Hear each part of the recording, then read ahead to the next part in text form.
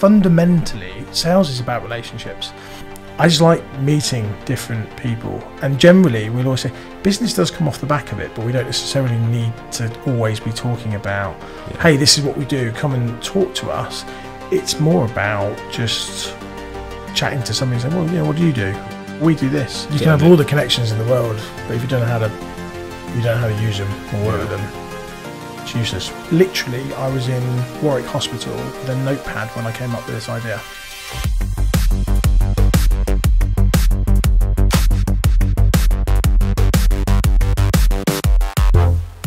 In this Sports and Outdoor Mentors episode, I chat with Dave Birch, founder and CEO of Endurance Zone, the world's largest sports rewards, loyalty, and engagement platform.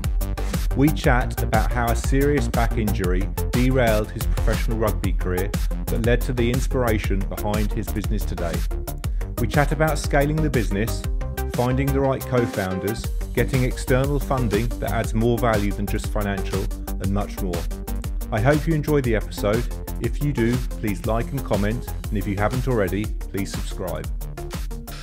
So, Dave, great to finally have the chance to sit down and speak. Uh, we've been talking about this for a while, so it's great uh, to be able to come here and check out your uh, amazing offices and the place where you're working. Pretty cool place. So that's uh, Yeah, we like it here. It's pretty cool. I but yeah, no, imagine. g- great to great to finally get together. Yeah, absolutely. So maybe let's start with what would you like actually the audience to kind of get out of this discussion? Is there, you know, what would you like to kind of share in terms of uh, yeah something that you think could benefit the the audience? Oh, that's a great question. Um, I think for me, it's a, an understanding of uh, two things. You know, who who, is Endurance Zone? What, what what do we do?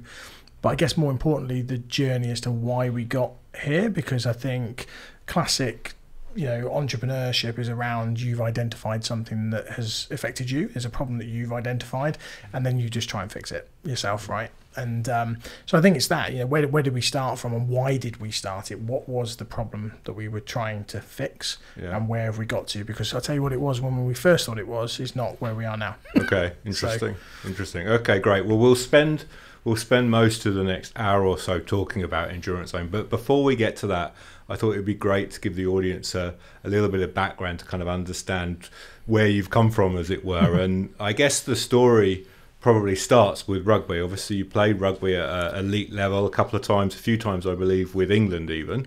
Uh, yeah, a few England caps on them about. Yeah. So that's uh, pretty amazing. So, uh, and I guess as with everything, you know, playing sport at that sort of level, you go through your highs and your lows. And you've stated before that, you know, you're somebody that's very competitive, and I'm sure that Yeah. got you through many of those kind of low times. But I'm wondering because in the end, I think it was a quite a serious injury injury that stopped you Yeah. playing rugby. So. How did you handle that? I mean, mentally, that must have been, I would imagine, a pretty tough period for you, other than obviously physically as well, which goes without saying. Yeah, I mean, the, uh, it's uh, I had um, two discs removed and my spine fused, um, which uh, was very painful and a, a pretty pretty extensive recovery period. But um, you- it's really interesting this one because having played rugby, I am competitive, but I'm also a super positive person and.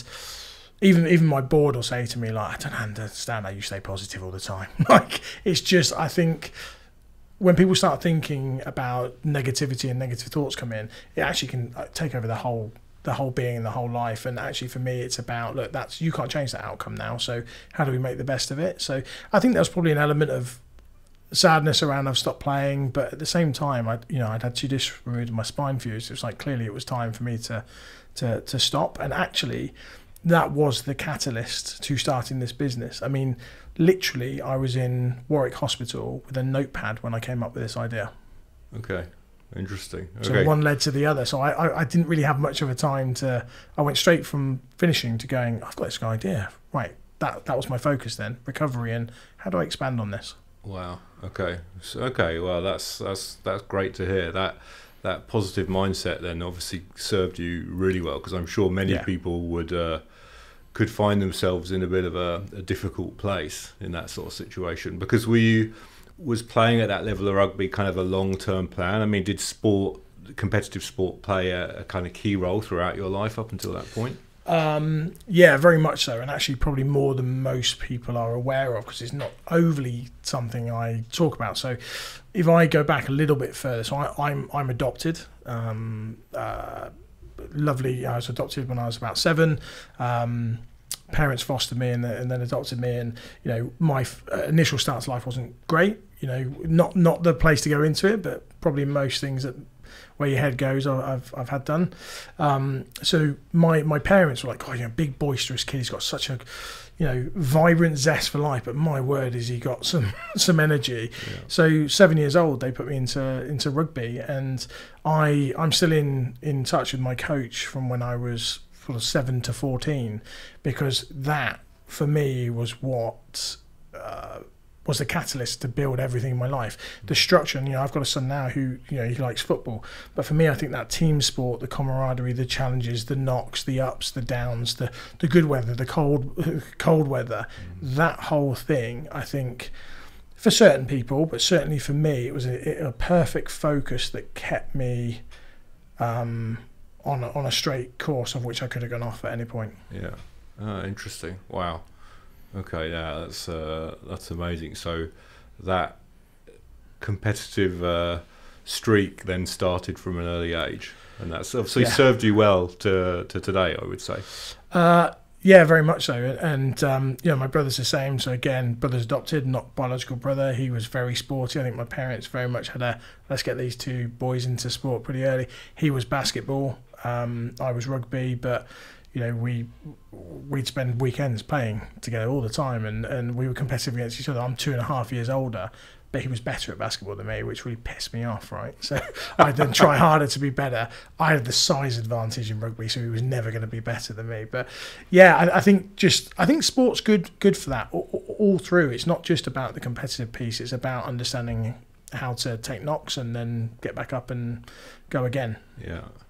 So if if then the the rugby led directly into endurance zone, so I guess then while you were still playing rugby, because I think your first, let's say, professional role was actually at a company called Samurai Sports, mm. where you were a sales rep. Yeah, yeah, correct. So, kind of looking back at that period, obviously, you know, sales has somehow played a, a key role throughout your career yeah. again to where you are today. But what were the kind of takeaways when you look back at that period? And in fact, maybe more specifically, you've talked before about the fact that when you were in that role, you actually found it quite easy. Yeah.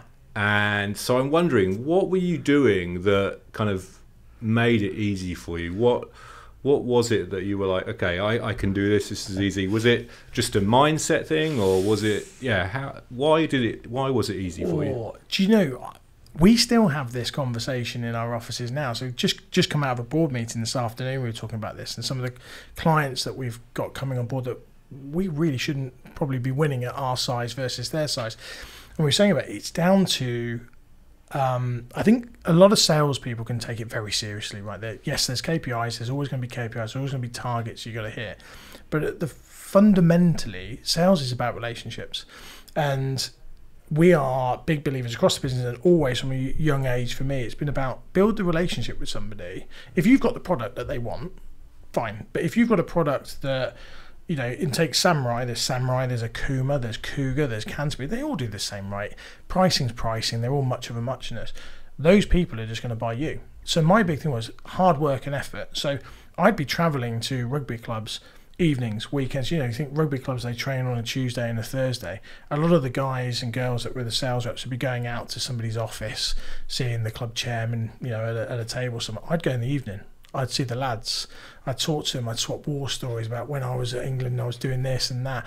They know then that you're one of them. Mm. And then it was about really just that relationship led to actually I like this guy. I want to work with this guy. You know, and that's that fundamentally that also is what works in our, our business, you know, and we'll, I'm sure we'll touch on this. So I don't want to jump too far ahead, but you know, we hire very much based on the personality than the yeah. the um, experience that they've got because we can train our product, we can train what you're selling. Yeah. It's down to can you build relationships with people? Are you likable? Can you network in a in a non-networky way? If you yeah. know what I mean. Yeah. Um, and I, I've always been that way. I'm a sociable person. I love learning about other people's journeys and jobs yeah. and what they do. And yeah, if you can get on with somebody, they'll want to work with you. Yeah.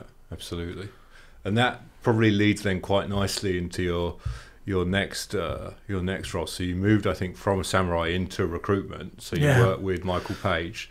so obviously one of the largest recruitment businesses globally. And I think you were you were working on senior finance roles for like the big the top four, the big four Yeah. Consulting agencies. So Yeah. maybe looking back at that period because you were there for what four five years Yeah, um what's what would you say is the the best and the worst about that your time there in recruitment Yeah. Okay. So if I if I talk about the, the the journey when we say about that sort of journey competitive piece to Michael Page, you know, I'd gone from selling teamwear into rugby clubs and swapping war stories, and then I was kind of like, I've got, I've got to grow up a bit here. You know, I can't be doing this when I'm 80. I need to think about you know my long term career. I remember going to Michael Page and saying, look, you know, rugby. I- I've been sales at Samurai. Had the stats of top sales salesman for four years on the bounce. So had that, and they went, well, do you know, we, we, we really like sports people here. You know, we're all about you know targets and you know rewarding people for doing well. And we've always got league tables and sports people play into that quite well. I remember going in and them saying like know come in for an interview if you thought about recruitment. And i said well i haven't but yeah okay. So interviewed with louise um, who was my manager at the time in leicester. And she said well look second stage would be with our our director Sean, but he happens to be upstairs. Do you, do you want to meet him? I was like, yeah, yeah, great, yeah, fantastic. So bearing in I told my wife I'm going to pop in for an hour to see these guys.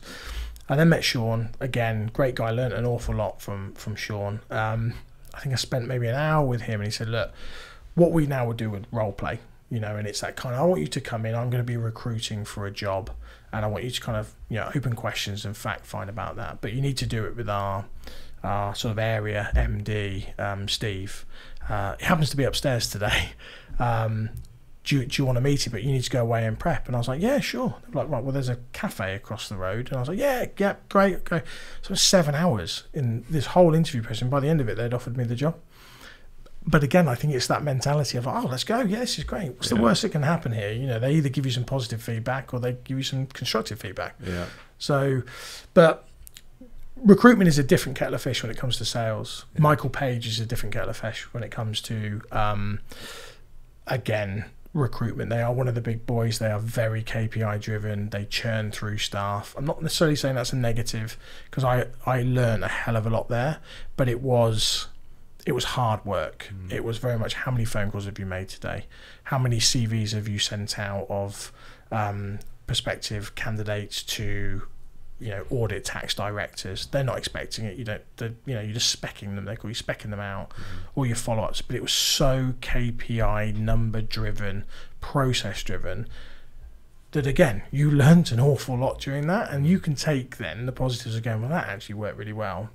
That specking cvs and cold calling people and stuff like that the way that they did it wasn't right because it was just numbers. There was no relationship, no personality behind it. It was just cool. No, did you want? Did you like that CV? No. Did, did you need somebody? Right. No. Okay. You're on to the next one. So Mm. it really positive in terms of their structure. I mean, before you even touched a phone phone there, you did uh they called it Sales Academy. You were down in London. It was a whole week. You were doing role play. You were doing open questions, closed question. They got you doing Myers Briggs training. So I mean, in terms of a sales process structure, I'd advise anybody to go and spend some time with Michael Page, and then go and use that to create something yourself. considering what you know now if you went back into recruitment today what would you do differently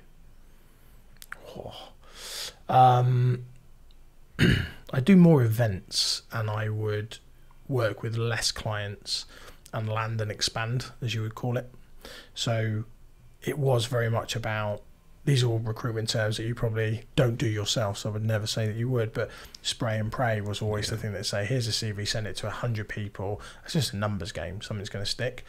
But actually, you might have annoyed 90% of those people that go, do you know what, you're not, you're not a, you're not a true recruiter. You don't really understand my needs. You don't really understand my business. You're just kind of hoping that I'm going to bite on this CV. And do you know what? It works. Michael Page built global empire out of it, right? Mm. But for me, it would be boutique it would be tailored towards a handful of clients Mm. that you had their trust they didn't go anywhere else you knew exactly what their business did you knew exactly the culture that they've got the types of people that work and then when you when you pick the phone up and say i've got somebody here for you um, they listen Yeah. uh, and funnily enough, I recruited when I was doing industry finance for the last sort of part of um, my career there. I placed a finance director into National Grid. I then pulled him out of National Grid and put him into Goodyear. He was then at Goodyear for around two years, uh, uh, no, three years. Um, fantastic job for them, great reference. He now is my finance director. So when I needed a finance director, and I, I, I grew quite a good relationship with him. So I didn't know him from Adam, but he liked cycling. I was into cycling. Yeah. And I remember saying to him, look, I'm at this point now where I'm going to raise money. I'd, I'd love you to just have a glance over my um, my deck and give me some advice. and then, um, yeah, roll on past the investment and stuff. I then said, look, I need a finance director. And he turned up at my house to tell me that he didn't think I was ready and then went away with the job. and um, he's been instrumental in getting us to where we are today. But again, if you weren't relationship led, you wouldn't have, you wouldn't be having a finance director that you placed into a role four years ago or whatever Yeah. it was, seven years ago. Interesting.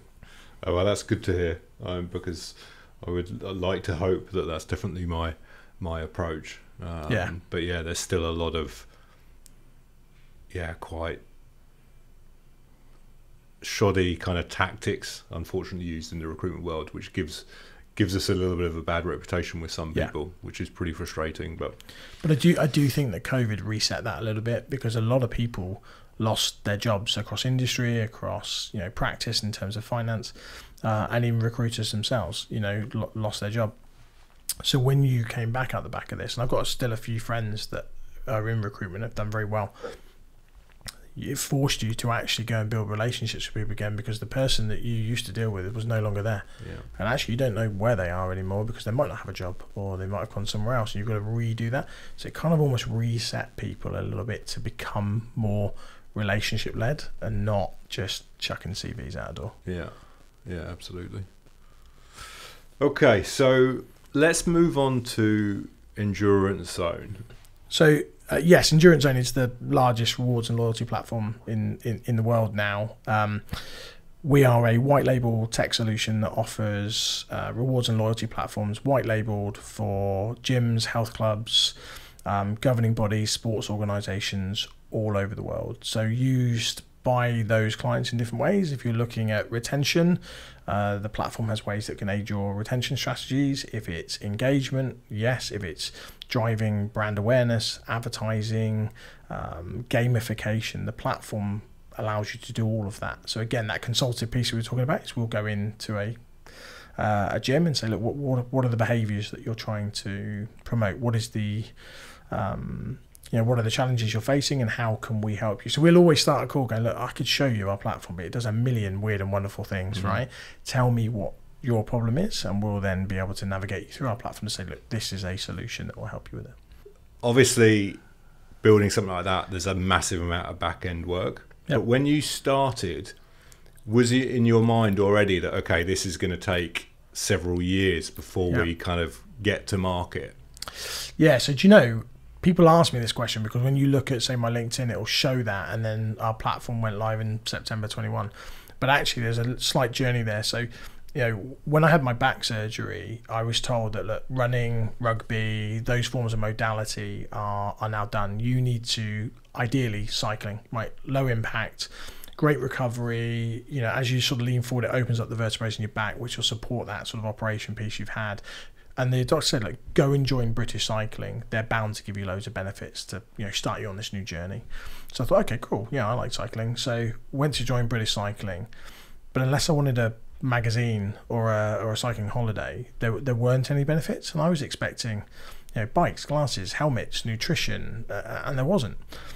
I was then at a gym that were, you know, serving me rewards, but they were Papa John's Pizza and Starbucks, and it was this kind of aha moment of going, well, look, if you're a if you're a health organisation, you're a you're a membership platform that's built around that sports. Surely, surely you're off wanting to offer them something that was actually tangible to the audience as opposed to just putting up some rewards and pretending that it's a benefit to people so because i was interested in cycling i had this idea to go well actually do you know what? i'm, I'm going to focus on building out a, a cycling network and i called the business discount cycling network so I'd sit there, you know, in my lunch breaks and stuff, flicking through magazines, cold calling the likes of Halfords and Muc Off and Specialized Bikes, going, look, I'm going to build out this this platform where cyclists are going to join to get these discounts.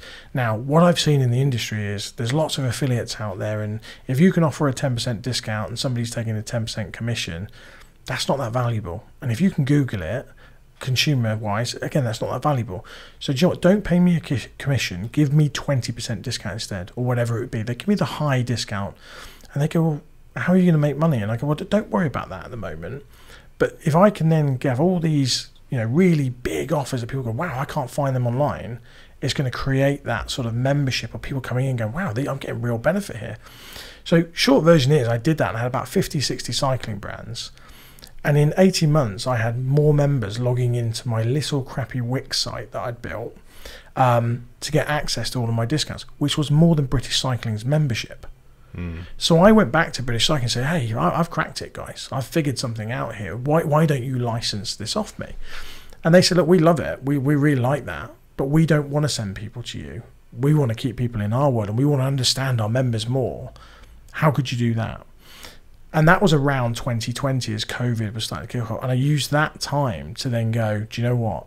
That's actually a really good business model there. Mm. You know, if we could find a white label solution that we could build into other people's apps, other people's websites that looked and felt like them, single sign on. So again, that user journey is great flow. you. Join British Cycling, you log into your membership platform. Hey, there's a there's all your rewards. You click on it, and there's a whole host of rewards that are really valuable to you that's going to work. Mm. And we launched in September 21 our first white label platform. And we signed our first client in September 21, which was Yellow Jersey Bike Insurance. Um, we signed a contract with them for three years and then they renewed again um, afterwards. And then since then, we've kind of replicated and learnt as talking to a gym that's very different to a governing body and say, well, actually, for us, you know, we've got off-peak members and we want to add value to them, but we've got peak members and we want to add more value to them, mm. and we want to move people from that bucket to that bucket. How do we do that? And then we've gone on to develop parts of technology like locking rewards so that you can show off-peak members, you know, 40% off Garmin, but when you click on it, it says, hey, upgrade to peak membership to unlock this reward. So mm. helping drive those behaviors. So as we've gone through different industries, different markets, different clients, we've learned different things that they've wanted to achieve and then built the technology around that. Okay, amazing, amazing. So, so actually, then it, it it maybe didn't seem like then such a long time from from when you first started that. So, because otherwise, I was thinking, wow, you know, from a motivation point of view, to kind of from the start to that point must have been quite challenging. But it sounds like you uh, you had a few, let's say, deviations to the plan as it went along, and you, as you said, you learnt from from what you were being told. Yes, but at the same time, I'd say you still very much need that motivation because having got 187,000 people to sign up for my discount cycling network, to then have to completely rebrand, mm. lose all of those members effectively, and then turn it into a B2B and taking that leap of faith when everybody mm. was losing their jobs during COVID, I, I had my job and I quit. And then I spent all my life savings. mm. And I've got a very lovely wife who backs me on it. So again, that motivation, but I think it's because I'd, I'd seen, you know, I'd been told by a, a reputable governing body that actually, do you know what? We could use that technology. We haven't seen anything like that, but we want it white labeled and we want it in our platform. And it was that kind of catalyst to go, there's a need there let's go and see what we can do. Looking back in those early years, what were the what were the biggest challenges that you that you didn't expect? What were the things that were like, oh, okay, that, that kind of came out of nowhere, and what what really challenged you there that was that was a surprise? There's two things, and it, sounds it sounds like, and I need to get across that it sounds like I'm trying to say everything's super positive with work, right, and business. It's ah, it's all rosy it's bloody not right when you when you're working all hours under the sun and I think everybody that's ever started a business knows you're the you're the cleaner, you're the chef, you're the salesperson, the accountant, all of that kind of stuff. but I'd say actually it's the scaling very quickly, and it was kind of taking a product to market that people wanted very quickly. We actually needed to raise money pretty quickly Mm. because we actually needed um, more resource because we'd gone done the hard yards of selling this and building this off our own. You know, bootstrapped it for three, four years ourselves. You know, Okay. hired a few members of staff. Myself, and my co-founder weren't paying each other for each other for, for two years. We were paying our, our staff instead.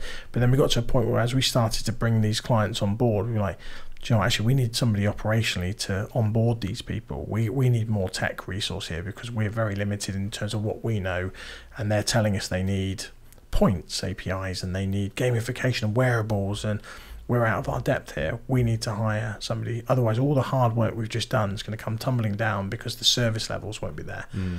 Um, and that was one of the hardest things because I think it's very, I think it's very easy to go and get money, but actually, if you're if you're scaling, you want the right money. Mm. You want people that certainly from an angel perspective can help you on the journey, can understand the journey that you're going on, can offer you just can offer you insight and advice, not just cash. And I think that was very important for for us was that we got the right investors on board. So that that first bit was tough because it's a long process trying to get investment and building out data rooms and you know forecasting you know five years in advance with a finger in the air you know Yeah. it, it's hard work so that was really challenging piece for us. Mm. um, and then it was about hiring the right people. And you'd think as a recruiter that was an easy thing to do but actually because in the early days we still probably didn't know who we were. We knew there was a we knew there was a product there. We knew that people wanted it but we probably still weren't too sure what was our product market fit. You Yeah. know who were we really targeting here? Which then stops us from going right we need these types of people um, so they were probably the challenges but again we went through the process of getting the investor on first who then spent six months with us looking at us going through you know what is our pro- product market fit? What, what get all your ideas out. No idea is a bad idea. And then going right that's a really good idea. That's a good one. Right let's laser focus on those first which then allowed us to go through the recruiting of salespeople Yeah. um, operational people brand managers all of that. Yeah. So you mentioned co-founder there, and and I believe actually you've had at one point you've had two co-founders, and and you you had very complementary skills. Yeah. Uh, you kind of talked about this triangle um, Yeah. that you had um, yourself with more kind of sales operations. And one, one another co-founder with more IT, another one with more marketing. yeah that's right I'm wondering, was that a conscious decision in terms of identifying those people to to be with you as co-founders, or was it more about the relationship that you had with them and that you you knew them before and worked with them before, or trusted them, or whatever, or was it really conscious that okay, I need somebody with tech, I need somebody with marketing? Uh, two things actually. Super conscious on one of them. So one of my co-founders, who's our CMO, is Ed. Um, Ed Hawlison also happens to be my brother-in-law. Nothing to do with the reason why I hired him, because I, I think I made it very clear on the way in, sort of thing. Business is business and family's family, right? If we fall out on a Friday, and we've got a barbecue on a Saturday. I don't expect you to raise anything, you know. But it happens that you know, marketing degree, um, worked for um, Arden University and a couple of charities, marketing director, you know, SEO skills. Um, he was just the perfect fit for somebody to come in and look at market analysis and look at targeted demographics of clients and all of that kind of stuff. So when I approached him about it, initially he was, you know, I'm not in a position where I'm going to quit my job and, and come and do this, but I'll, I'll give you a bit of guidance and help you sort of thing along the way. And then very soon, I think again, he saw the opportunity and said, okay, I'm all in on this. And actually, we we outsourced the technology initially, and then we were approached by a, a guy in the states called Todd Jennings, and he ran a OTT platform, uh, which is over the top platform, um, endurance video streaming. So he was an Okay. Ironman athlete and tech whiz, and um, he rang me one day and said, "I've just seen your rewards platform. I'd love this for our our um, our OTT platform. You know, the, the the brands resonate with our audience." And I think over a three month period of me chatting with him, I managed to convince him to quit doing what he'd been doing for the last two years and come and join me as a as a co-founder on the technology side. And then yes, I always explain it's this perfect triangle of you know sales and operations, marketing, and and technology. And I think anybody that runs a business or, or is looking at running a business, the, the first approach is identify what your skills are and be really honest with yourself about what you're good at and what you're not good at. Yeah. And the bits that you're not good at, go and find somebody that is. Yeah. Yeah. Interesting. Okay. And that then that then brings us back maybe full circle to to recruiting now. So I'm really interested to know are you taking anything that you learnt from your recruitment days into your recruitment process now when you're building out your team? Um, yeah, so you're right. Before you mentioned about I, I recruited senior finance positions, audit, tax into Big Four, and then moved into CFOs and FDs into into industry. And in that basis, there was a mix of very much uh, qualifications and then skill set. And I would say none of that because finance people are not salespeople, right? And in a scaling business, we needed salespeople, and they're very different people. But one of the things that I guess resonated with me was there were one or two candidates that I had, Tom, who's our finance director, being one of them, that had personality. And I think for me, it was kind of I remember Paula, who was his line manager at um, Goodyear, saying, "John, he's a great guy. He would fit in perfectly with the rest of our team here." So I think for me, and I mentioned it previously, it's about personalities and people that fit within our business. You know, we don't overly take ourselves too seriously. You know, we're not all buttoned up with ties and uh, and suits and stuff. You know, we, we we go and work out with our clients. We go on bike rides. You know, we've done paddleboarding with our clients. You know, we wanted people that can fit in work hard, are driven, are competitive. My God, we need competitive people. Um, and that was what was important. So, uh, kind of a yes and a no. Like, it's interesting, but I don't care about qualifications, which I think in Michael Page it was very much like, what, what are the qualifications? What, what university have they been to? Yeah. For me, I, I don't care. I never went to university. I never did A levels. I went straight into you know playing rugby and then working. But by Christ, did I work hard? Yeah. And that was more. That's more important. Yeah. So I'm not sure if that answers your question or not really, but yeah, it does. But so so when you're obviously personality then is is critical for you and that ability to to fit with the team and within the culture of the business yeah. that you've just well just described. But how are you how are you identifying that? Because a lot of times that's that's here, right? Yeah. It's the gut. Yeah. Which isn't in my experience, 100% reliable. Yeah, 100%. Unfortunately. Yeah, so true. So, yeah, I'm interested, you know, is it kind of really down to, to, to that kind of gut feeling, or is there anything else you're doing to kind of help identify those people? Yeah, so we'll get to know people. So we never, I believe it I don't use recruiters mm. because, I, again, I don't want to see a load of CVs. So we'll we'll meet people and they might be working in a gym, they might be working at a brand that we work with or something. But you know, when you go to a networking event or you turn up at an expo and you get on this person and you end up having a having a bit of dinner or a beer or whatever it might be, and you just kind of keep an eye on them and go, do you know what? I like that guy or girl. You know, it's um, they could be good for our business, and then and then you kind of start planting the seeds. And we've got a couple of people at the moment that we're looking at, and we've planted the seeds probably six months ago. Go, God, you know what? I'd, I'd definitely hire you. You know, like, oh, well, really? Well. And then the next conversation you have, they're like, so are, are, you hiring? And you're like, well, we will be. Yeah, we're looking at you know, adding some more heads in for 25. Let's, let's, you know, I can't promise anything, but let's, let's have a coffee. And you just start to spend some time with these people over a six month or three month period, and I will generally get a pretty good feel as to whether they're yeah. they're right and then now I'll put them in front of some of the other team. But the people that we've hired, we've invited them out for dinners twice generally um, before they even get an offer. Okay. We'll say, hey, come out and meet the team. Like this has got to be re- this got to be right for you. You know, chat to the team, get you know, ask them questions about what it's like to work here, what we're doing, what we're building, what I'm like to work for and it gives them an opportunity. And also, I then get to say to someone, "What do you think?" Or a bit, bit shy, a bit quiet. Said this, said that. But fortunately, the feedback's been like, "Yeah, you know, seems really good." Yeah. There's only been once that we hired somebody that had loads of industry experience that we thought was going to be good because they had the industry experience and they knew everybody. But actually, that didn't work because they knew everybody and they knew him. Yeah. Good and bad. Yeah, that's funny because I I've made the same mistake back in the day uh, when I was working for a brand, and yeah, on paper, you know, the amazing experience, amazing connections, Yeah. but yeah, it it just didn't work. Um, You can have and all the connections in the world, but if you don't know how to, you don't know how to use them or work Yeah. with them, yeah, it's useless, really. And I, I've said this to the team several times. One of the big advantages we have in this space is people that have been in this space, this loyalty and rewards in, in this specific industry that we've been in, have either done it very badly and they've gone, um, or they're doing it very badly.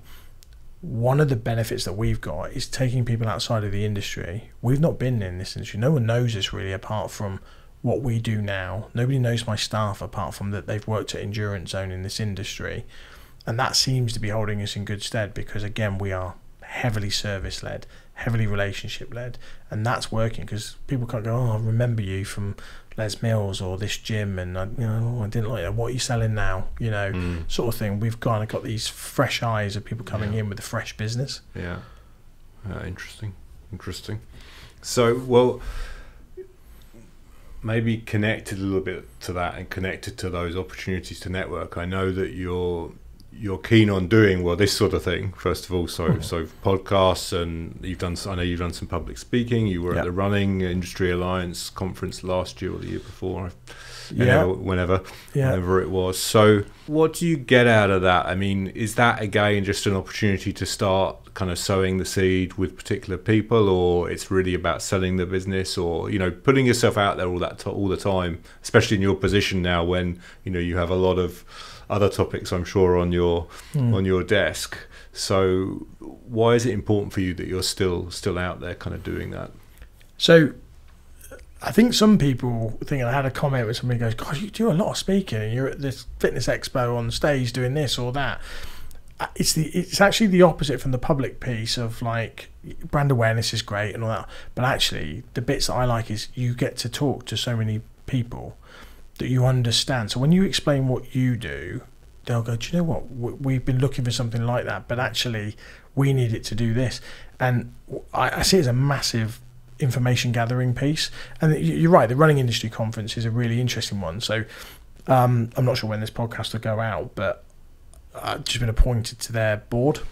Um, so Bex invited me to come and, uh, and join their board because it's. She said, "Look, this, you're you- you're good at sort of listening to people, and actually, it's quite. This whole thing is about how do we improve the running industry and being able to sit there and just have a beer with somebody, have a coffee with somebody, and say, you know, what your challenges? That's the bit that I really like, and that's the bit that she'll see value in in me. How do we mm. improve the industry together? For me, those events are just great. You just get to meet lots of people, you get to talk to lots of people, and then you get to take that away and go, do you know what? I was chatting to this event company over here as an example, and one of the biggest things that they say is they're, they're still handing out gift bags, and they've got printing, and they've got you know protein bars in there and stuff. And for us, how do how do we how do we turn that into a digital swag bag? How do we work with their partners, the event partners, build that into our reward platform to be able to give to all of their, their runners or riders or whatever it may be that ultimately saves them costs, helps you, helps the uh, environment because we're not pumping loads of stuff into plastic bags. So it's, it's, it's just a, that's just one example, but Yeah, I just like meeting different people. And generally, we'll always say business does come off the back of it, but we don't necessarily need to always be talking about, yeah. hey, this is what we do, come and talk to us. It's more about just chatting to somebody and saying, well, yeah, what do you do? Yeah. Oh, well, we do this. yeah. They'll then remember that. They'll come to you when the time's right, yeah. you know, and maybe you meet them again and say, hey, how, how did that, that thing go that you were talking to me about? Oh, yeah. Oh, Yeah, it went well. And then the relationship's going. Yeah, yeah, absolutely. So, you've talked in the past about how important your support network is, support group, and particularly calling out your wife. Um, but I'm thinking that you know, listening to you here, you know, obviously you're the founder and CEO of Endurance Zone. I think you sit on the board of uh, UK Active or a Yeah. part of the digital part of UK Active. Yeah, digital futures. Yep. You're joining the RIA Yeah. uh, board. Yeah. Um, you're the founder, I think, of the largest cycling club, um, and the large non-profit cycling club. Yep. You're you're married. You're a husband. You're a father. Yep. I, I was going to ask, how do you find a balance? Perhaps I should say, do you find a balance? and then, if the answer is yes, how do you how do you keep all those balls in the air and spates, spate, spates, plates spinning. Plate spinning. um, I didn't have much of a balance, Okay. and I go through spurts uh, where there isn't a balance. Um, but I have a very supportive wife um, who is the CEO of our home for sure. That's for sure. Uh, I've got two kids. I've got a seven-year-old boy, and uh, I've got a ten-month-old little girl. Um, and to be honest, I, I think um, I enjoy what I do for starters. Um, I absolutely love it. I, I love the business. I love being with people. I love socializing with people. I love understanding people. It's just what makes me tick.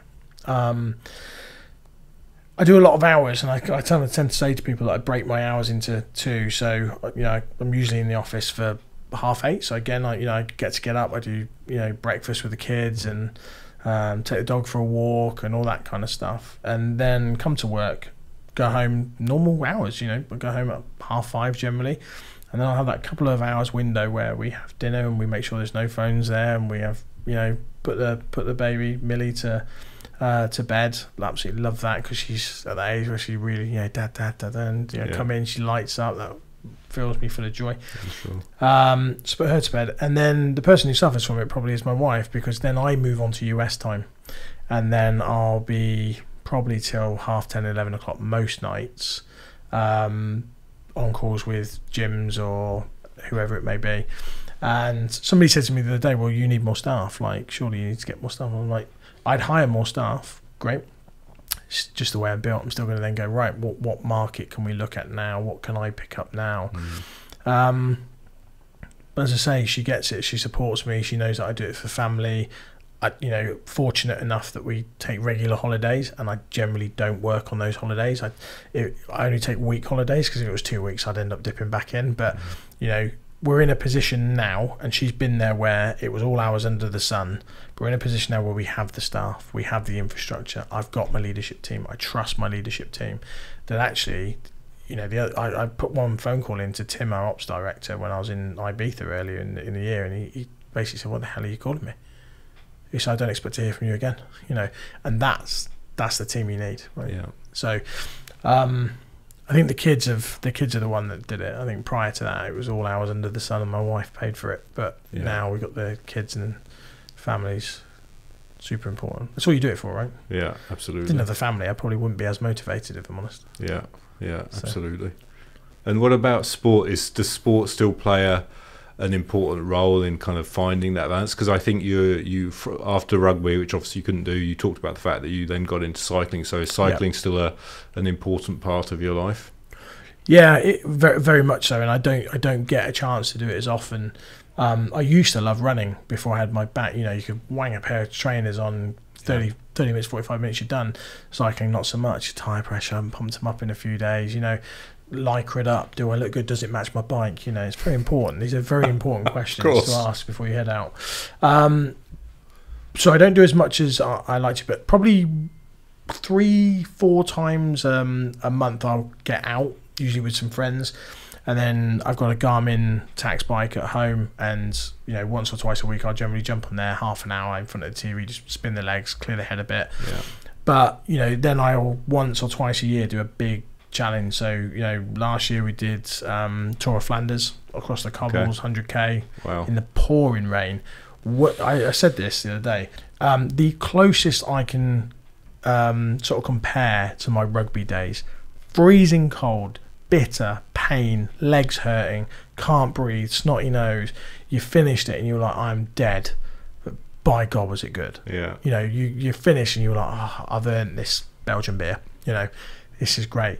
But yeah, Flanders last year, the year before that, I did Ventoux three times in 24 hours.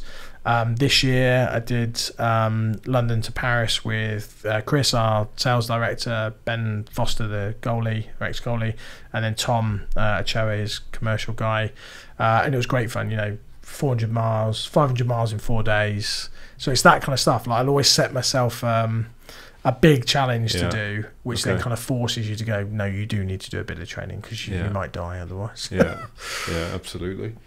Now you you mentioned Ben Foster there, which reminded me of something else that you do as well, which is you have your own podcast, which is obviously with the co-host of Ben Foster's Yeah, podcast. Tom. If I'm Tom Ochoa, yeah. so, and that's you're talk, you're kind of exploring and diving into the the business of sports, right? Yeah. Um. So so why? What's what kind of led you to do that?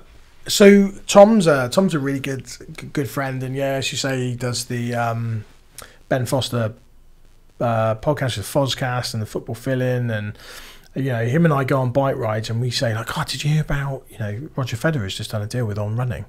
Like, yeah, yeah. I wonder how much he's been paid. Why has he done that? And then we were talking about Louis Rees-Zammit, who you know left playing professional rugby to go and try his hand in the NFL Yeah. and it's just things we're interested in. You know, one of the there's a there's a podcast. It's on a an app called Wondery, and it's like business wars, and it's like you know the AFL versus the NFL. Um, it's all these different like comparisons. I'm just interested in understanding the business makeups and Yeah. why people do. You know, why did Tiger Woods leave Nike? Yeah. to go and start his own brand. It seems a bit silly when he's retiring. What's the plan? So we just said, well, we should we should talk about it. We should research it, and we should do a podcast called "What's the Deal with Sports." We came up with saying, you know, what, you know, this week, what's the deal with Michael Jordan? What's the deal with you know Formula One? What's the deal with Red Bull? You know, Yeah. and we delve into these things where people go, wow, I didn't know that Red Bull just moved into cycling, and we'd go into well, well why? What was the strategic move, and why have they done it, and how much have they paid for it, and kind of unwrapping the business behind sport Yeah. and it was a bit of an escape, you know, for me to not be talking about rewards and loyalty and engagement, and, and again, for Tom, not to be talking about football and goalkeeping and you know all of this kind of stuff, and. It, it, it did all right. You know, our first video did twenty five thousand Yeah. views and then thirty thousand view, and now now, you know, all the socials and stuff we've got out were millions of views, and Yeah. it just kind of worked. And um, we just enjoy it. it. Took a bit of a hiatus over the the summer just because of kids and holidays and stuff, and then we've just just recorded four more this week. Um, but yeah, just re- really Cool. interested in it. It's worth put you know worth putting it out there. And again, I think it positions selfishly myself in that kind of thought leadership thing. You know, I'm not just playing around at this. I'm genuinely interested in business and Yeah. sport and how things work and how we connect people together and how we can, you know, im- improve the industry really through various different things. Yeah, absolutely, absolutely. No, it's great. Well, I've listened to the um, to the Wrexham episode and and one other which now I escaped me. Masters. But yeah, no, it's cool. It's uh, it's The Masters good. golf one seemed to everybody seemed to really enjoy that the mystique behind the Masters and all Yeah. the crazy rules and that there's hidden speakers that play bird music, uh, like bird. Oh, I haven't listened to that one. I'll have to they- check it out. They put dye in the lakes, in all the lakes at Augusta to make them stand out on TV. It's a really good one because it's things like that. You watch it, Yeah, and if you ever watch it, you're like, nobody's carrying a bag, but they make like 13 million pounds in four days in in selling caps and stuff. But you never see anybody with any bags. So there's all these rules around what people can, can and can't do. It's really, but that's it. It's really Ah. interesting to, to I'll check that one out.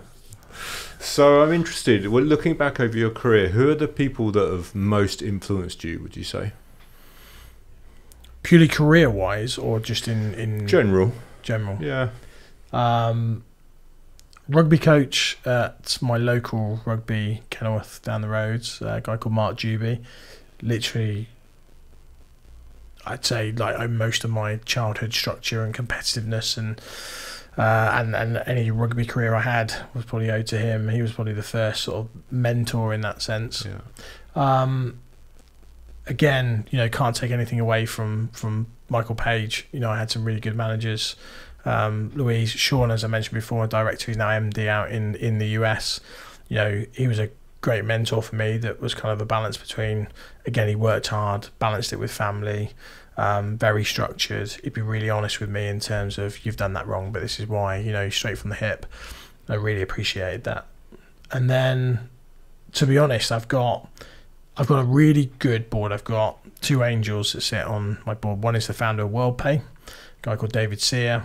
Um, he took a very early interest in what we were doing and gave up a lot of his time in just mentorship without putting any money in. And you, know, you could look at that and say, well, he was just keeping close to whether he thought you were going to do well and came in at the right time.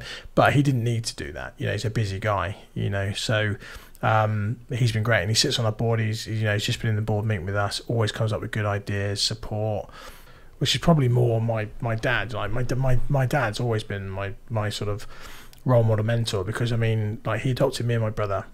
You know he was born arse end of Sheffield. You know. Um, went out to London, worked for an oil company for 30 years, retired at 55 as a director, still found the time. And it's only when I had kids I realised what he gave up. You know, drove me over to Leicester for rugby training on a Thursday afterwards. Just sat there in the car reading a book, came back, and then went to work the next day. Then drove me all over the bloody country uh, on a Saturday for various games. And it's only when you've got kids and you drop them off at football, you think, fucking hell. How did he do this when I had training on a Tuesday, a Thursday, and then when it was county and Midland season, it was Tuesday, Wednesday, Thursday, Saturday, Sunday. You know, it's things like that that you just go. But that's why you do it. You work hard for your kids, right? Yeah, absolutely, So, absolutely. but- and what's but yeah. the what's the best piece of advice you've ever received? Hmm.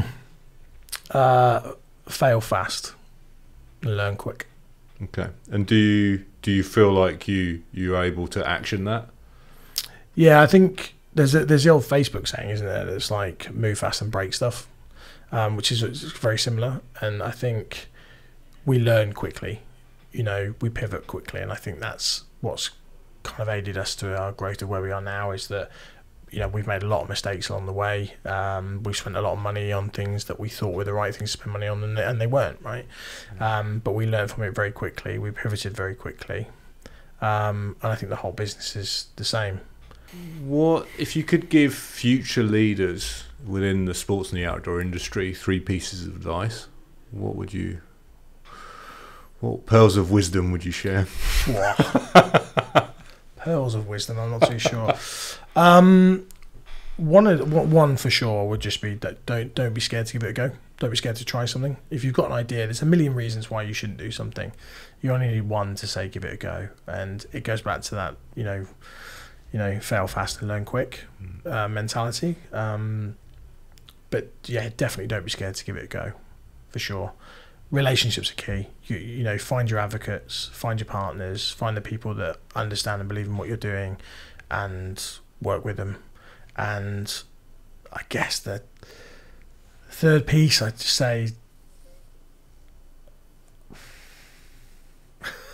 it's a really cliche one, but just work hard. Like, there's no substitute for hard work, and I think everybody said that, and I'm probably going to get people going, "Oh, here we go, here we go," but there there, there isn't. If if you For can sure. if you can learn fast, you know, if you can learn quick and fail fast, but you work hard, um, that's it. So it's either, uh, do you know what, I'm going to give you four. So that that last one could be that, or it could be the other side of it.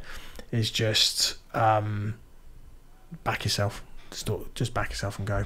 Like it's it's yeah. I'm trying to I'm trying to think if there's more. Like if I if I could go back and tell myself, it definitely like hard work's gonna work. Back yourself to do it. Don't be scared to fail, and if you do, just learn bloody quick. Yeah. So if today was your last day, if you were going to hang up your uh, endurance zone boots and Yeah. retire on an island somewhere, Yeah. what would your your message be to your team? Well, this depends whether I'm on a deserted island because it's, it's failed and I'm on my own, or whether it's uh, an island like Richard Branson. Um, let's say it's the, the the latter, right? We've we've done a good job. We've sold it, or whatever that may be. We've got no plans for that, but you know, um, if we've sold it, um, thank you is all you're ever going to need to say. You know, uh, again, I might have had the idea, and we always have this. I've got weird and wonderful ideas, and I'm always like, "Oh, what if we could do this? Would would it improve the platform if we did this? And I've got the team there that can tell me whether we can deliver on it, whether we should deliver on it. You know, they've done their, their work to tell me, actually, that client, yes, no. We wouldn't be, and I keep looking over there because my office is over there, right? I can see my, my team we've got big leadership day tomorrow. Um, it's just thanks for trusting me because you know they challenge me on things when they when it's right to do so but a lot of times i come in and say deliver the message this month this quarter budgets whatever it might be and they just go with me and i'm going to take that as a positive that they trust me but it'll just be a massive thank you like if we have got to that point where we've done an exit or we we haven't you know we just got a great lifestyle business that gives everybody a great life not going to be here, and I've done it on my own, and it would never be here if I hadn't got the right people in. Yeah. Um, yeah, Perfect. we're not there yet though. We've got a long way to go yet. Great. Well, look, thanks very much for your time, Dave, and sharing so many great insights. I think there's uh, a lot of value there for people to, to take away. So I appreciate you being so open and honest about everything, and uh, and good luck for the coming months and years. And uh, yeah, thanks again. No, I really appreciate it. If anybody wants to reach out and have a chat, get some advice, I can give them advice. They can give me advice. I'd love to hear from them. Perfect. Well, we'll put your um, your LinkedIn profile in the show notes so people can send you a message through LinkedIn. Awesome. Perfect. Cheers, All Dave. right. Cheers, Dave. Cheers, mate. I hope you enjoyed my chat with Dave as much as I did. If you did, please like, subscribe, and leave a comment. Thanks for your support, and I look forward to seeing you soon for our next episode.